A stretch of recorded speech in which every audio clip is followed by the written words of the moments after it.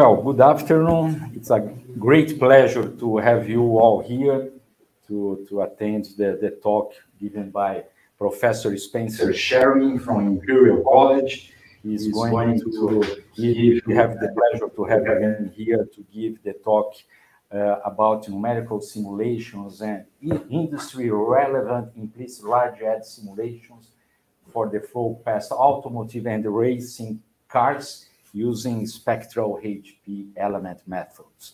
And then Professor Spencer Sherwin, he has a first degree. He graduated at Imperial College in Aeronautical Engineering. Then after that, you got your PhD from Princeton University, and then came back to Imperial College. And then, by coincidence, when I started my postdoc, you were starting at Imperial College more than 20 years ago. Yeah, then it's a pleasure. It's a pleasure, and thank you very much, Spencer, for giving this talk. Thank you. Thank the you. floor is yours. I think your your arithmetic is not so good anymore. Twenty-seven. That's good. Yeah. Sorry, uh, we're nice to see people in person. Always a challenge now with hybrid.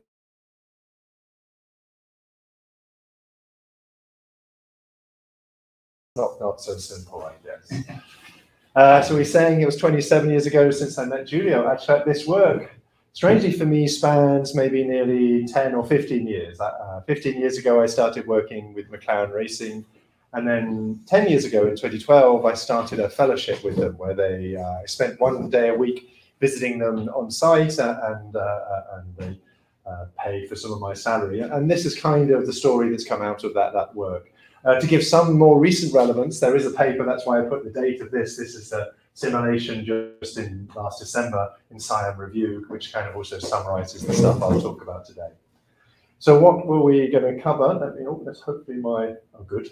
Uh, what do I want to cover? I, will give you some general background. Some of you may already know, of course, uh, uh, uh Formula One is very popular in Brazil, and that track Formula One is quite popular uh, in Brazil with McLaren Racing. So, so that, that's a good overlap for me. So I'll talk a bit about Formula One and why might we want to use these advanced methods that I'll also introduce in this first bit.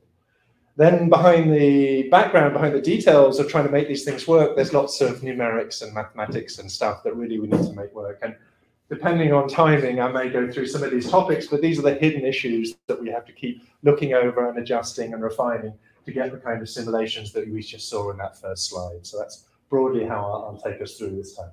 So Formula One, hopefully, if you follow motorsport, you consider uh, Formula One as kind of the pinnacle of motorsport.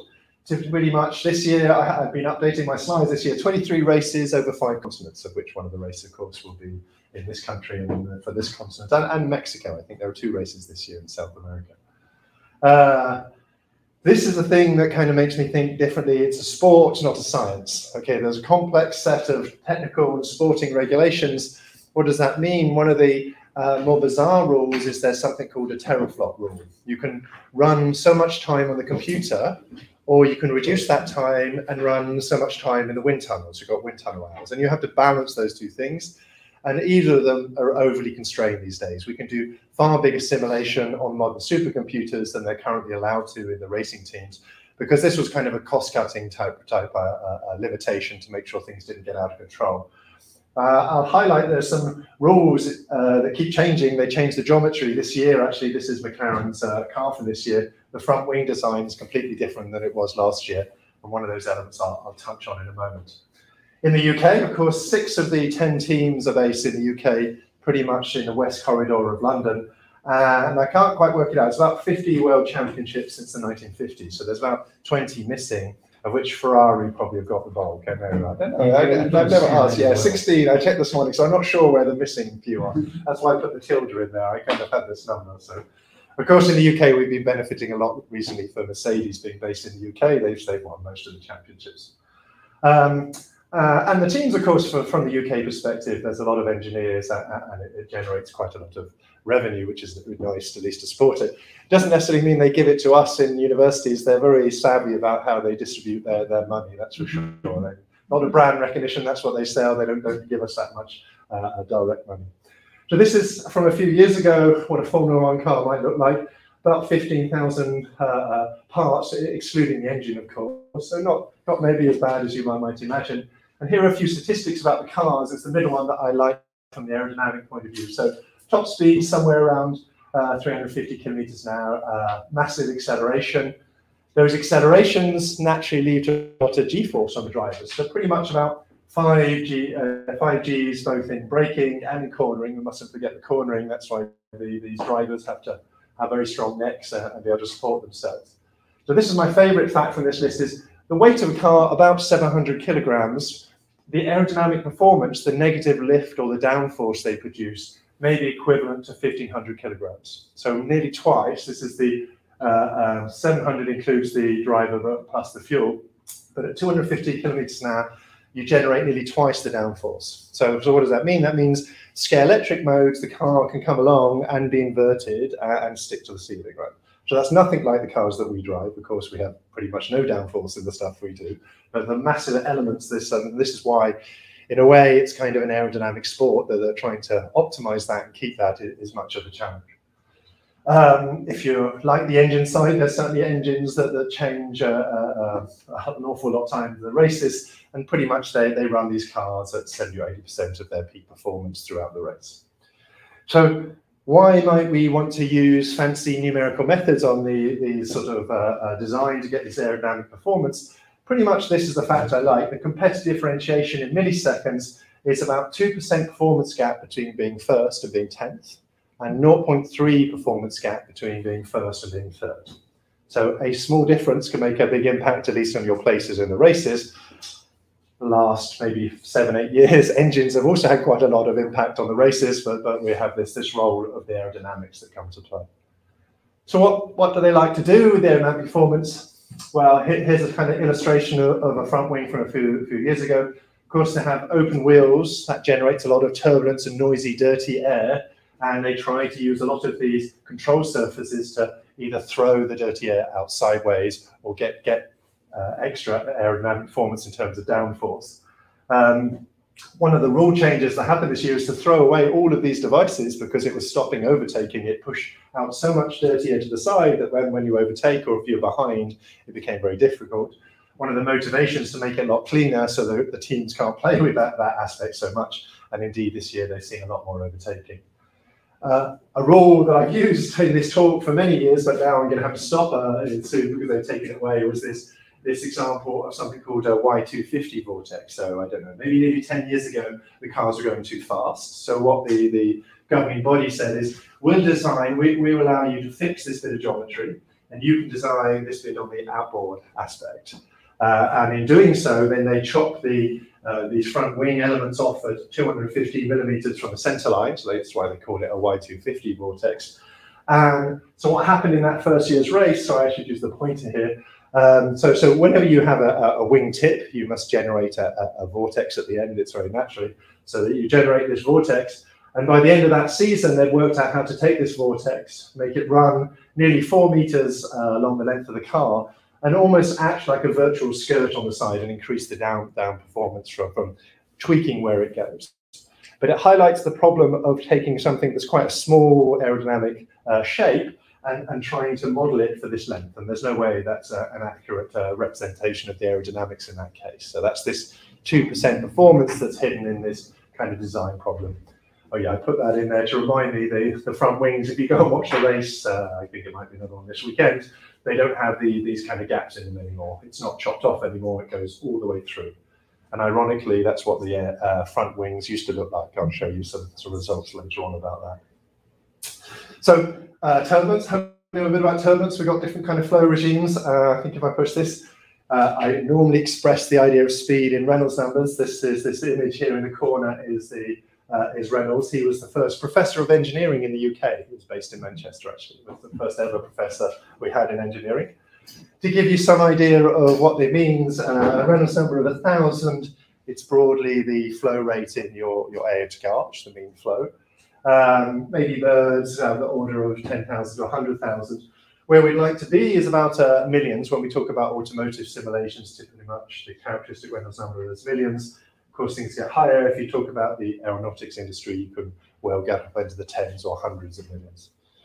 So what can we actually simulate uh, um, if we want to go through this Reynolds number regime? the hand wavy argument goes as the following. The, the amount of floating point operations, the flops that you do on a computer compared to the Reynolds number, it scales broadly as a Reynolds number cubed. So as a datum point a few years ago, let's say we could model all of the turbulence and the flow scales as something like a, a bird, somewhere of the order of 10 or 20,000 Reynolds number. And if we're able to get this sort of speed up, then what would that mean? So, uh, sorry, I said the speed up. The speed up historically used to be based on Moore's law. It used to be when we had our Intel processors, you wait uh, 18 months and then it doubled in speeds purely from flops. So, so we use that argument to say every 18 months we get doubling in speed. That takes us roughly today from this being able to simulate everything. So if I want to get in the million number of regimes, it takes me about 2040. So that's well, what are we at? That's getting on. If I if I retire quite late as the academics, that's my retirement age. But this is a little bit optimistic. If we can't get that speed nowadays, we have a lot of troubles getting this kind of performance out of computers. Let's say it takes us three years to get that doubling in speed. And if you're into this sort of stuff, memory movement on, on modern architectures using GPUs, there's a lot of challenges about what we do with our memory bandwidth and memory movement. So that takes us to get into the million number regime and simulate everything to 2070, which is maybe some of the younger people in the audience here's retirement age. So that's that's the window we're working in. Fortunately, we don't need to solve every scale of the problem. So we need to get better, which is what we're trying to move out, but maybe we don't need to have every single sort of uh, eddy of, the, of that flow in our simulations. So the, the workhorse tool used by most uh, uh, Formula One teams uh, historically has been using Reynolds average, Navier-Stokes. So, so this is where we take a kind of a very average view of the turbulence. In this case, what have we got? Let me see if I get my, oh, I don't know what I've done there. Let's see if I get my pointer back up. Here we go. Um, so this is this Y250 vortex. The, the geometry is being chopped off here. And it creates this vortex. And you can see how big and blobby it is. It's a great big circular, big blue thing. Um, what these uh, red and blue blobs represent are the turbulence on the surface of the, the, the, the uh, geometry there. And it feeds in and creates this vortex. So that's the first attempt at making the, the physics of this problem. So if you want to get a bit more performance out of it, one of the features you do, so that was a time average flow, is to move something called detached eddy simulation. So in this case, what you're doing is you're adding unsteadiness back into the flow. And if you put the unsteadiness in, then you can see more or less in this image that the vortex here, it's a bit sort of uh, smeared, I'm afraid, but it looks a bit more spirally, right? A real vortex isn't just big and blobbly and circular, it tends to spiral around the center. So, so we can see we've got some slightly better physics there but the blobs on the surface are still great big red and blue blobs to represent the turbulence. So if I want to go one step further, if I want that 0.3% performance, what I've got to go and do is put even more physics back in, which is where we try to come into it and do something like this. So it's an implicit large eddy simulation or under-resolved DNS. And, and, and the headache is we need to put all of these structures in on the surface. This is kind of under-representation of the turbulence that naturally happens on these control surfaces. There's lots of small eddies that are in the boundary layers. They come along and they feed into that vortex, and then that then dictates its strength and move forward. So that's the big step that they're looking to, to, to go over. And it's mainly these high-end industries. We also work with Rolls-Royce. It's another example of somebody that needs to get to those fine margins uh, to improve their engineering. Uh, and, and if there wasn't a teraflop rule, we'd be able to do more of this in F1. But pretty much at the moment, when I started 10 years ago, they said we're going to try and change the rules and we'll see if that, that, that would open everything up. The problem about changing rules in F1 is everyone has to agree. It's now being brought out. But you know, if you're winning, you don't change the rules, right? You fight as hard as you can to keep all the rules the same. And if you're not doing so well, you want the rules changed, and eventually something happens. So that's that's the politics, not the science, that goes on. So what do I do? Well, how do we, we, we offer some advancements in the methodologies to go through this? We use the spectral HP element method. So what's a spectral HP element method? Here's, we, we've got classic finite difference methods. And when I'm referring to HP, H, like in the finite difference method, means you know, the separation for a grid and the size of the mesh spacing. So another classic method is a pure spectral method. So I have to be careful, I'm referring to spectral element, but there's a classic method using Fourier methods, spectral methods, which if, if I didn't have any geometry in my flow, then uh, if I find my pointer, we'd have a periodic box here, no geometry. And what I could do is I could represent my solution as a series of Fourier modes. So I have a, a fundamental mode, one sine waves, two sine waves, and going up higher and higher.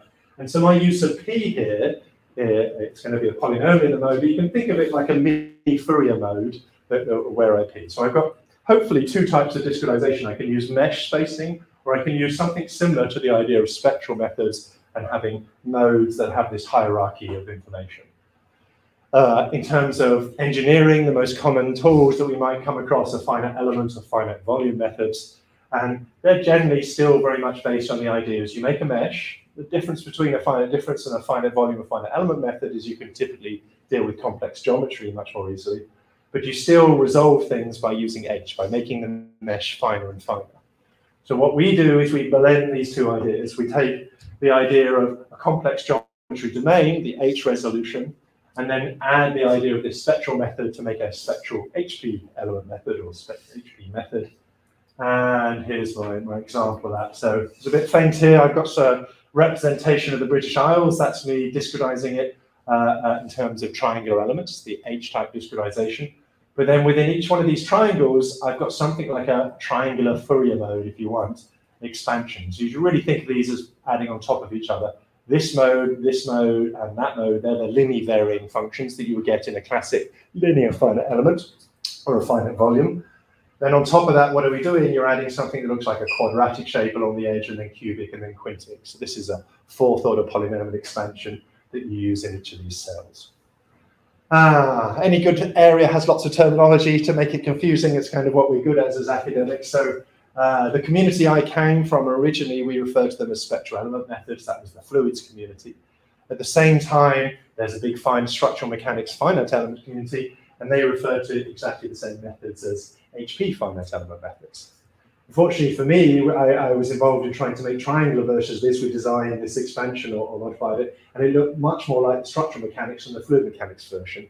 So we combined all the names together, and that's why we call it spectral HP element methods uh, out there, and I've had some presentations already here. The classic approach to finite elements I would refer to as continuous Galerkin or continuous Bubnov-Galerkin. Since then, another technique's come along called discontinuous Galerkin. I know some people are already using that here. There's uh, uh, some interest by Tony Jameson, who's one of the father figures of finite volume methods, and he's got involved in the technique, and they call their variants with, with a former student of mine flux reconstruction. So if you go and look at the literature at the moment, there's all sorts of names, but pretty much we all come from this sort of class of discretizing our problems with this H and P. How you bolt these things together then means we have a change in those names there.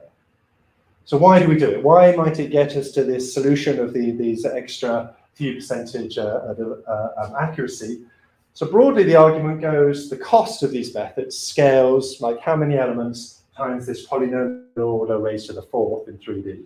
But the error, the potential reduction in error, scales much more exponentially. It scales as the size of the elements to the raised to the power of p. So there's a sweet point as I increase this polynomial order that I'm going to get much, much more accuracy uh, as I increase that. And over the years, I've struggled to motivate that, but this is the one slide that I've got to try and demonstrate it. That let's just take a cone, one of those small vortices, and I want to propagate it for many, many wavelengths, like that vortex, all the way along the Formula One car. And so if I go around in a circle, I should remain like this cone.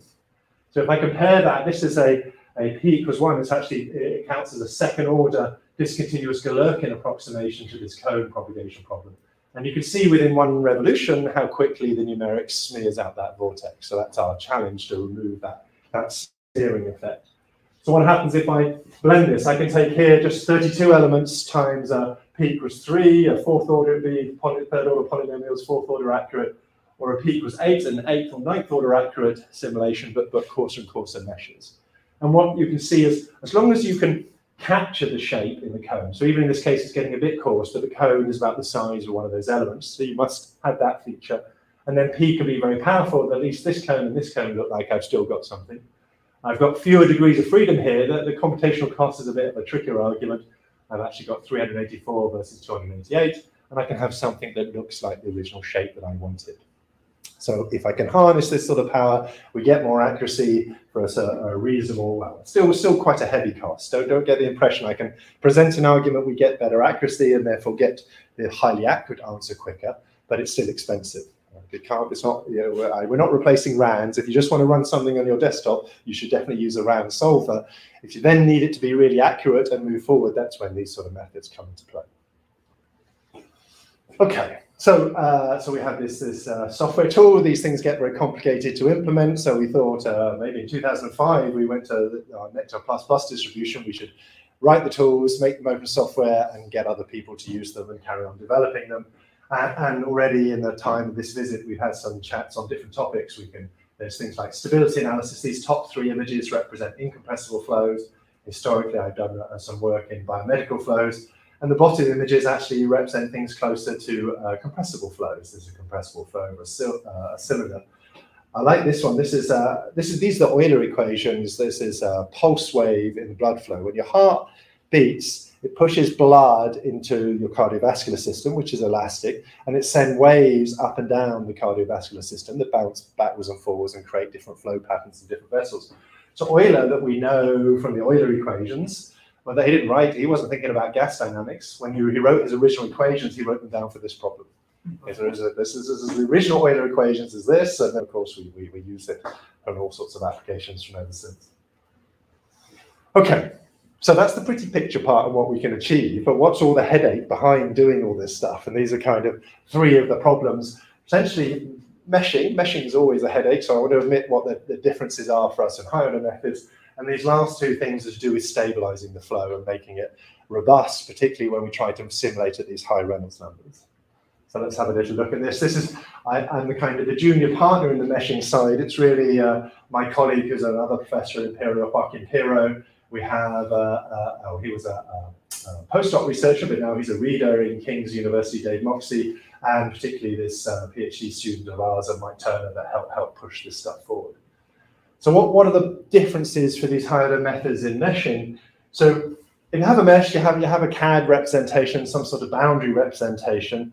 What you would normally expect to do then is you, you might make your linear finite element mesh. And what it does is it takes all these nice cur curvy linear surfaces and tends to make things faceted. I mean, by, by design, these methods have linear representations and you get a linear representation of the geometry. So, so we start from that starting point.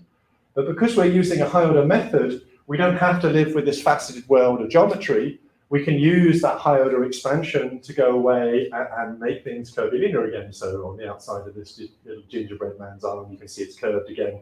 The smiley face is also being curved again. So when these geometric properties are important and you want to represent it, we have that additional power to get to that. So that's the positive side. What's the headache side? Well, uh, the headache side is what happens when you deform things. Do you make sure stuff is valid? So critical part is the ability to capture the geometric complexity. That's good. Good quality meshes. We still need. If you don't make a, a valid mesh, it doesn't matter. You don't can't simulate anything. Everything will just blow up when we get on the computer. And so this is broadly our problem. When we have a curvilinear surface, we might fit a triangle to it, which is our linear finite element discretization. Now, if we didn't have to curve it, it would just fix some sort of points over the element that represents that p-type polynomial expansion. But then these elements wouldn't be actually lying on the surface. So what we want to do is push those things forward and make it curvilinear. So Dave Moxey gave me the slide, it goes over there. And then you could say we just push those points up and hopefully we'll get something that looks like this. Now, that's all well and good, but this is a nice big shape that didn't have any problem moving these surfaces what happens if I've been even more curved on this shape and my, my geometry pushed it right up as far as those uh, first yet uh, orange green dots?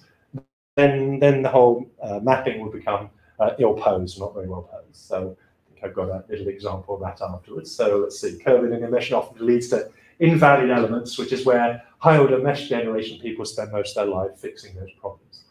And I think just to motivate that, I've got this example here. So if I have this sort of flower-shaped geometry. And I've got this element now. In this case, I've got a, a, thin discretization near the surface. If I want to capture those boundary layers, that's often what I need to do is have really fine meshes near the surface of the geometry. But in this case, where it's kind of concave, as we look at it from the outside, this is what would happen to the element if I just naively push it forward. Okay, and, and then the, it doesn't matter. You can this isn't going to run. You're just stuck, and you, you can't do any simulations. So for Dave and for, for, for Joaquim, they play in this area too. There's all sorts of PDE solver problems you can solve simply for the meshing. So you can play around with that, and these are the more advanced techniques. But the one that's kind of unlocked our ability to do any simulations has been the following trick. What trick observation, which okay, we, we, we came up with, I guess, in 2014, 2015. If you allow yourself to make a very coarse mesh, uh, so here we had a very big prismatic element, so that when I do that initial deformation, it doesn't self-intersect, it's kind of valid. What that means is, at least from the uh, mesh generator, I have a representation from how we think of discretizing our problems, which is usually in this parametric space where everything is linear. We then know a mapping, and that's just, uh, part of this polynomial expansion that takes us from this rectilinear, uh, easy to deal with space up to this, this deformed geometry. Now, strangely, when, when, we tried to do mesh generation for the decade before, what we kept being obsessed with is if I want to make a, a mesh near the surface, I need to somehow put a, a, small point very close to here and make another thin element. Now, now boundary layers are, are millimeters, if not sub-millimeters thick, and then it's really easy to muck up where you put this point and everything becomes self-intersecting. This paper, the observation we made in this paper, which is kind of trivial afterwards, is, well, let's not think about doing stuff in the real physical space everything gets really well behaved in our parametric space. So if I go and slice, I can make as thin as elements as I like in parametric space. And then because I knew how to map the macro element up, I then know how to map every one of those slices up without making anything invalid. So, so this, this tri seemingly trivial observation, but at least nobody else had thought of it before Joaquim kind of came up with it, has unlocked our ability to make, to, to, to make these more challenging meshes, where honestly, we're not really refining very well in the uh, um, tangential direction, but we are capturing the flow physics in the wall normal direction, which is kind of the most important direction if you have to make a choice that you want to capture first. And then, you know, if we can afford it, we'll make the, the meshes finer as we go through.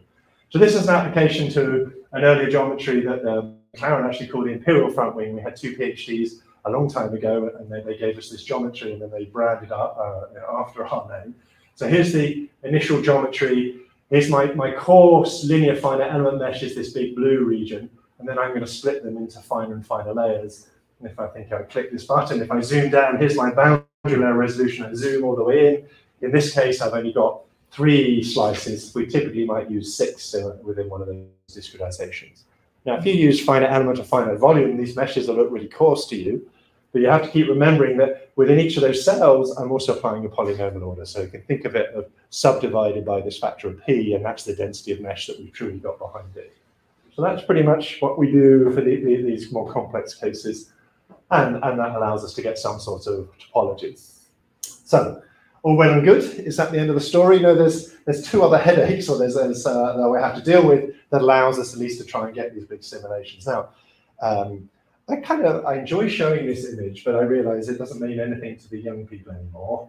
Oh, it's not even going to play this movie. So, so, so when, when, when Julie and I were kids, and we watched on cathode ray tubes and we watched westerns and they had wagon wheels and they used to go round in circles and the aliasing, the frame rate of the TV made the wagon wheels go backwards. So that's that's a, a visual interpretation of aliasing.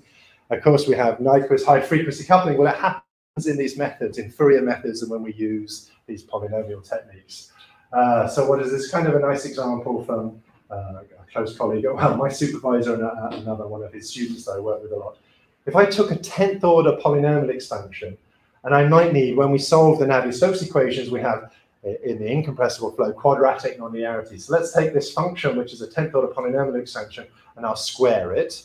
And I want to say, how well can I represent or integrate the square of that function depending on my, my integration rule, my quadrature rules. Now, when you first design these methods, you design them for linear problems. And if you have a linear problem, you would only need 12 quadrature points to integrate a linear operator, just to integrate u times, times a, another function. But when you have a quadratic function, you actually would need 17 points to integrate it exactly. So does that make a difference whether I use 12 or 17 points? But this image on the, the right-hand side shows it. So the, the actual solution is this light curve here. And if I subsample it at 12 points, which is what the, the dots represent here, you very naturally see this, this sine wave come out of that subsampling. And so what that's telling me is I take this very high frequency data, I undersample it, and it seems to give me energy in the low frequencies. This is this is a this is aliasing, and this is a mathematical phenomenon which could be dealt with with exact integration. And the red bars here represent the extra energy in this case that's been added to the flow if I if I am naive about my integration.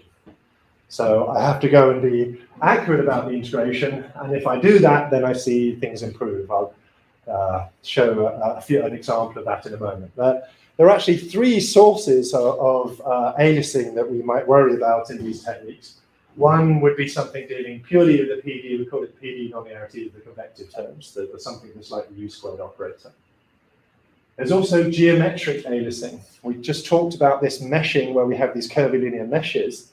What that means is there's a, a mapping factor, a mapping which is another polynomial in these integrations. So if I have a very deformed element like this, then this is also allowing the geometry to cause an aliasing of this nature. So I have to add even more quadrature points if it's very, very deformed. And um, less well recognized cases, if you do these discontinuous Galerkin methods, for those of you study that, in that case, you solve something called a Riemann problem. And it says that this interface between two elements, some if the flow is going forward in half the element and backwards in the other element, you, you alias information. You take information from one side which is incompatible from the other side and block it together, and you can also get this type of form. This, this isn't really relevant to the stuff I'm showing you today, but it's just another mechanism of this sort.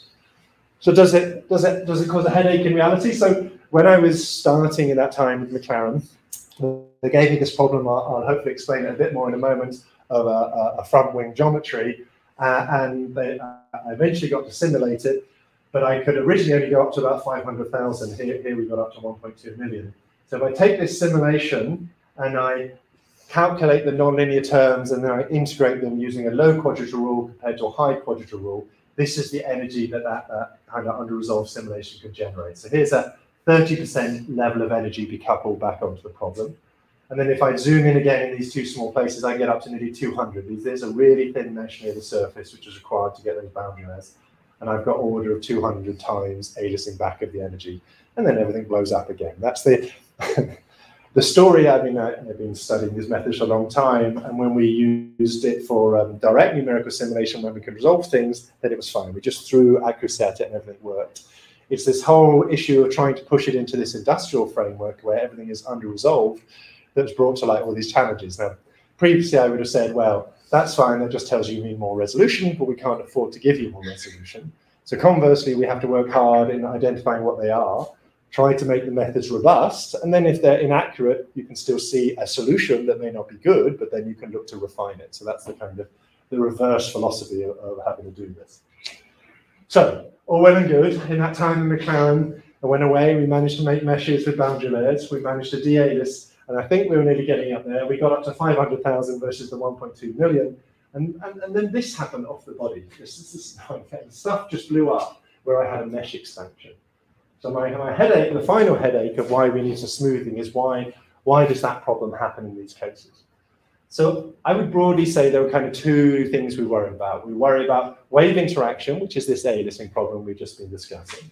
So we have one frequency, and you multiply it together, makes a high frequency, needs to couple back onto itself.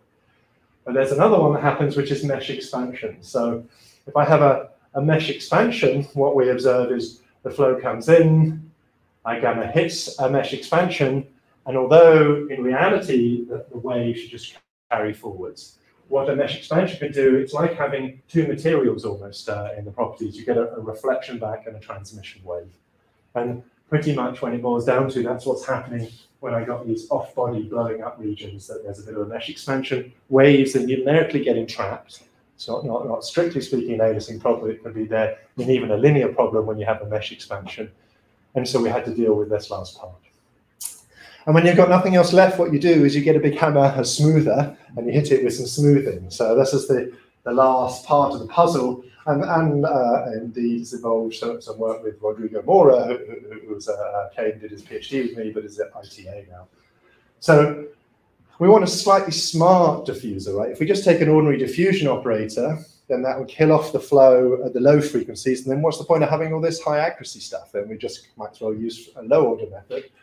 So this this spectral vanishing viscosity idea, which is introduced by uh, Tadmor, Maday, and Kaber, it says if I'm a bit smarter about how to, uh, have a specialized kernel, if this, this was just a one in here, this would be a standard diffusion operator. But I've got a, a kernel operator, which in frequency space, in Fourier space, says let's damp high frequencies and leave low frequencies untouched. then I can have something that's favorable about these properties of the P methods. In this case, we tuned the, the kernel to get rid of this high spike, but to leave that low sinusoidal method untouched.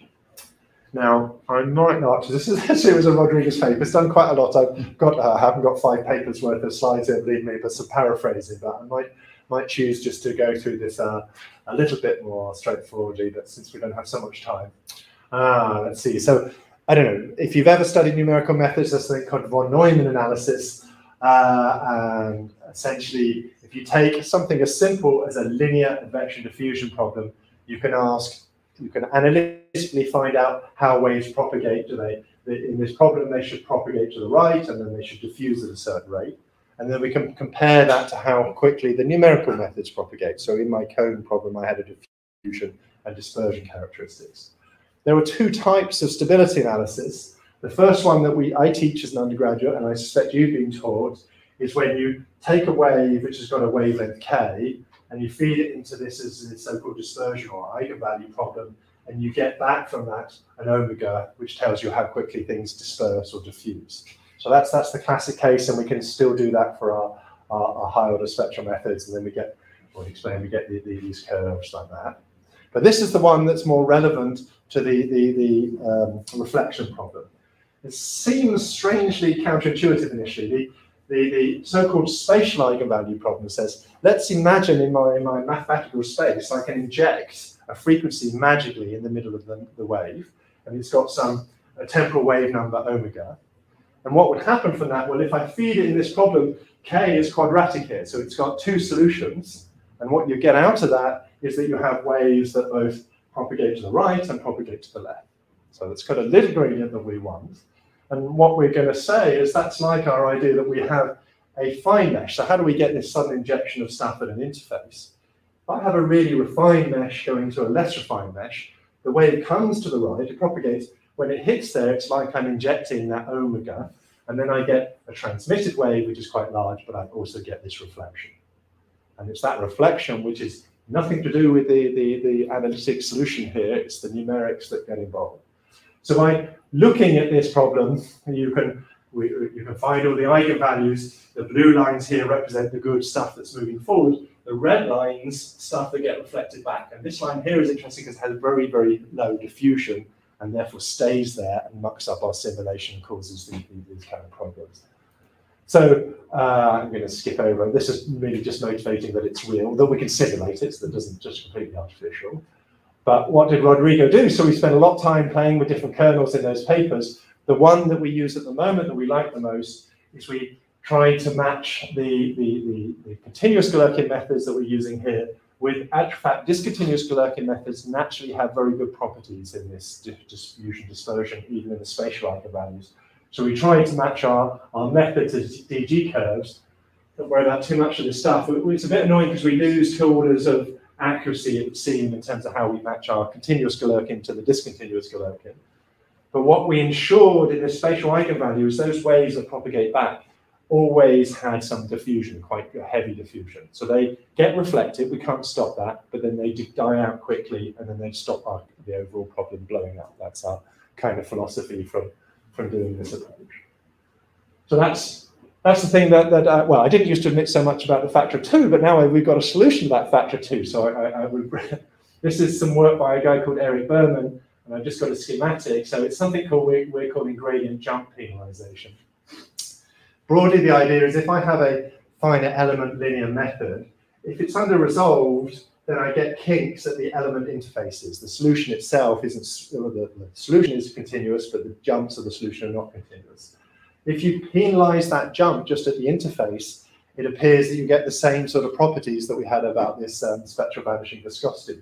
You can take the cone propagating here, and this is what it would look like if we didn't have any stabilization.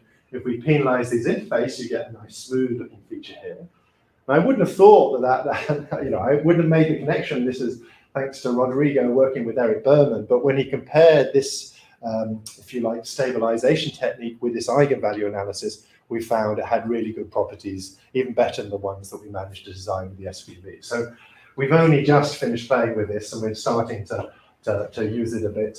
Um, if you know any of this literature, really I should credit the idea something called continuous interior penalty, uh, suggested by Douglas and DuPont way back in 76, except that I hadn't got a clue what continuous interior penalty meant. It's, that's why I like using gradient jump penalty, because I, I penalize the jump in the gradients. That's what we're doing and, how we use it. Okay, uh, so there's lots of parameters that we do. Let's not worry about that too much in the interest of time, but let's at least show you if I compare using that spectral vanishing viscosity with this gradient jump penalization. This is a uh, flow past a cylinder at 3900 that's been studied quite widely. Um, so what have we got? The, the blue line, the dotted line here, which is very raggedy, is polynomial order three using our, our favorite SVV DG kernel and the um, solid orange lines which are lying on top of each other are polynomial 3 and 5 of using this gradient jump penalization. And the black line is the thing we're trying to mask. You see, we're almost nailing it with the gradient jump penalization, but we have to go up to fifth order with this spectral vanishing viscosity to get the same solution. And this is also a bit, and these are just these are profiles in the wake. Here we're getting this kind of squarish shaped wave, whereas initially with the spectral vanishing viscosity, that factor two, it's it's too kind of curvy and uh, rounded. So so so we get back. You have to use smaller time steps because it's not getting rid of so much energy, but you get back a lot more accuracy from using this method. Right, so to get someone that show you some applications, and we better wrap up.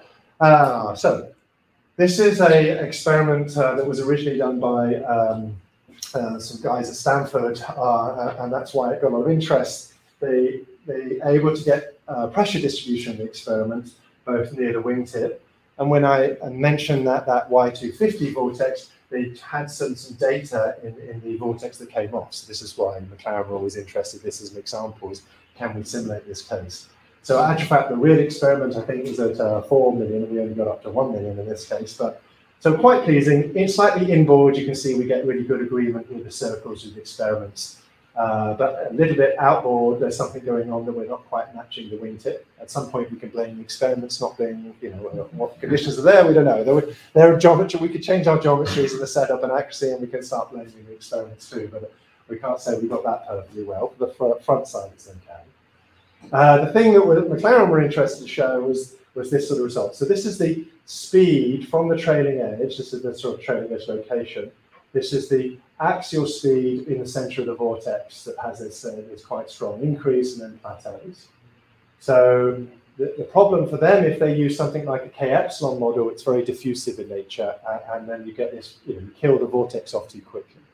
Okay, and then you can spend orders of magnitude in compute costs, like we're doing, and you'll get a better answer. Otherwise, we can show it to you, right? Here's, here's the blue answer. So that's so we're seeing that we get the right right level. Now, if you do turbulence models, there are fancier turbulence models than K epsilon. So this is the seemingly depressing part. If you use something called a, a Reynolds stress model, if you know what the flow structure is like and it's got effects of curvature, you can certainly recover with RAN. So uh, after the fact, you can, can get back the green line. So that's good. And I'm like, well, then why are you making me do all this stuff for you if you knew you could do the answer? Well, the reason is because they don't want to study that geometry, they want to study this geometry, and they don't know how to set up turbulence models for this problem. So it's the more complex environment of all the vortices all over the place. But what do they do without knowing the answer on how you tune your turbulence models? You need a higher fidelity simulation, perhaps not to run everything, but if it guided your turbulence models, that would then inform the lower fidelity tools and they'd be more robust in that sense. So that's the, the ethos, if you like, behind how you might envisage their use. Since then, this is some work of Felipe, uh, who just finished last year with, with uh, Gustavo and myself. He, he, was also part of our joint PhD program. We've gone back and we rerun this uh, imperial front wing geometry.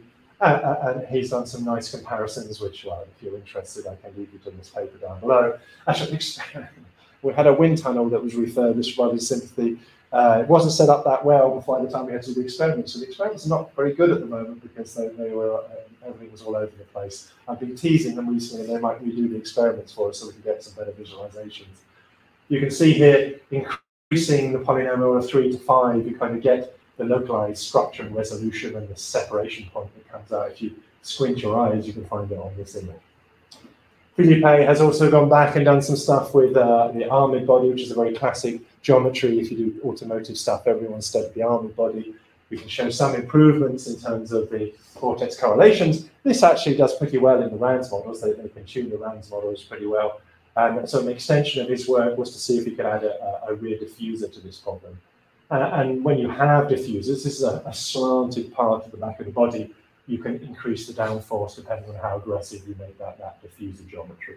Sorry to go through a bit quickly since we've got not so much time as just two examples. This is um, the, the, the, one that came up in that our Scion project.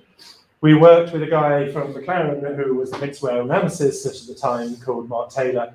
And we worked with this uh, um, company called Elemental. They had a road legal track car. And this was their first design.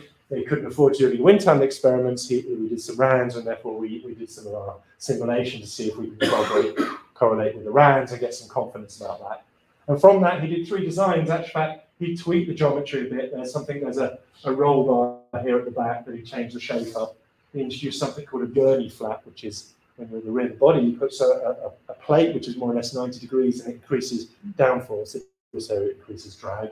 And then in the underbody, it has these diffusers that, that, that go in front. And in the second design, we can demonstrate that you expect to get 33% more downforce. And so they, they did amend the car with that sort of stuff. Then he did a Suplat one that was never built. So uh, from his Formula One experience, you can have this diffuser on the back and completely change the underfloor design. And because he was pretty experienced at this, he managed to get three times the amount of downforce in terms of those sort of modifications. So to show you, if you work for 10 years in Formula One, maybe you'll know how to design a road car that has a better aerodynamic performance. So that's pretty much it. So is it all working? No, this is an example from uh, McLaren, their, their P14, uh, the automotive side we've been working with. Um, what's one of the challenges here? We can, we can mesh the geometry, and these are simulations in comparison to RANs one of the challenges is we can't currently afford to, to, res, to resolve turbulent boundary layers. So sometimes our inflows are too laminar, too smooth. So in this case, this is a, a profile from this line here. Because our boundary layer is initially laminar, it separates. Uh, and now, so, so this is interesting. Finally, I'm not the biggest fan of turbulence models or anything else, but it kind of brings to light that uh, a wall function, which would be wall modeled LES, would be really good here because I know this flow would be turbulent in this region at the front of the car. It's noisy, hits the geometry, there's no way it would be laminar. So I would like this to be more representative of turbulent boundary layer and then turn on our technology.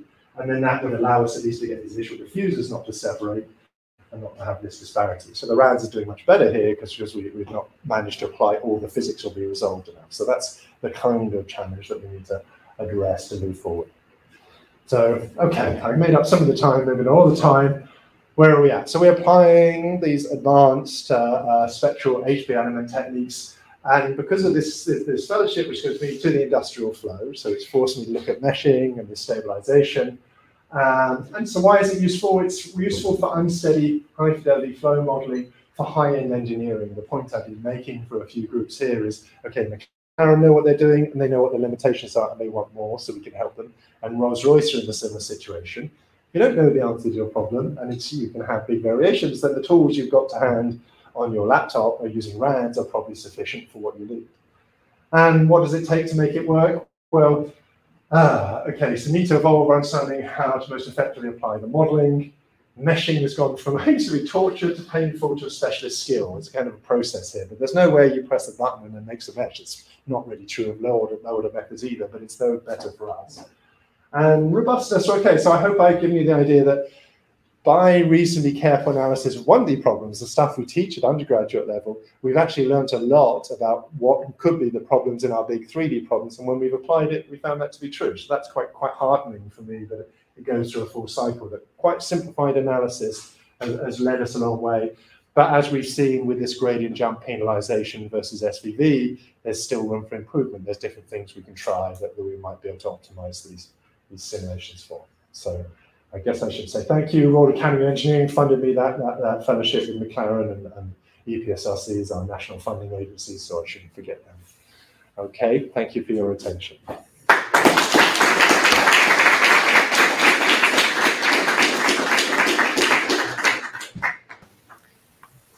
So the session is open for questions. I do have one. Uh, I to watch. Uh, and basically, I think a lot of things have uh, trouble uh, and they, uh, they have been complaining about how CFD models are not uh, very accurate coming to the uh, flow coming underneath the car, the, under the floor. So why does that happen? Why does uh, the interface between the floor of the car and the asphalt is not uh, well represented in the CFD models? Why can't they improve it? So they're using that, they're finding an average flow, time average flow. They're not finding an unsteady flow. Had, had they, well, they're now using more of the detached eddy simulation. In principle, that might have caught it. But that as part of this physics, they haven't got all the physics in the CFD simulation, so they can't capture it that way. That would be the limitation of the CFD. So I, I met Ross Brawn recently because he came and he got an honorary degree at Imperial, and he was talking to me how amused he was about this porpoising because when his heyday, when they used to do it, they also used to suffer from this. And his comment, I don't know if this is true or not, is they haven't made things stiff enough. They also, you know, we use lighter materials, they got fibers, and it's more flexible. And that's also allowed, you know, if it was a more rigid geometry, potentially it wouldn't have happened too. So he was very amused to see it come back again. and I guess just last week, Mercedes have done a redesign. I wonder if they just made their car stiffer to, to overcome that. But yeah, CFD, it didn't have their physics in, so there's no way you capture it. So further questions? Uh, regarding the the problem with, with the turbulence in the boundary layer that you mentioned, uh, have you tried to play with the uh, free stream free stream turbulence to see if that would be sorted out? Or? So it's the problem that we've made our simulations too quiet that we couldn't get the right data, and we then we put free stream turbulence in and managed to compensate it for that. We couldn't afford to add that level of scales to the oncoming flow. That's the problem in the big car ones. We can barely afford to resolve what I'm showing you. So putting a noise in and then having to have the mesh that, that, that propagated that noise Yeah, is, is just not right, enough yeah. resolution. So, so that's why in the medium or short term, putting in a wall function of some sort might, might just kind of get a bit better correlation and then make the tool more useful. But eventually, eventually, yeah, you should go back and do that. And as we kind of discussed yesterday, what is the scales in the free stream flow that actually gets into the boundary layer that matters will be useful to know to better guide them. More questions? I have one. Uh, so you bring it three critical points that uh, the smoothing, the uh, the meshing, and also the specificity. So which one you think that is more critical in the sense of that you need to pay attention, either for the methodological or for the Yeah. challenge point of view? It's sort of a correlation to, making a mesh because you, you can't do anything. So that, so so so in some sense that was the earliest need, and we have a painful way of doing it. So I suppose we can park that for a bit. So the stabilization has probably come up. So so so the, the other two topics I've almost lumped together. They're just different types of stabilization. One's more mathematical.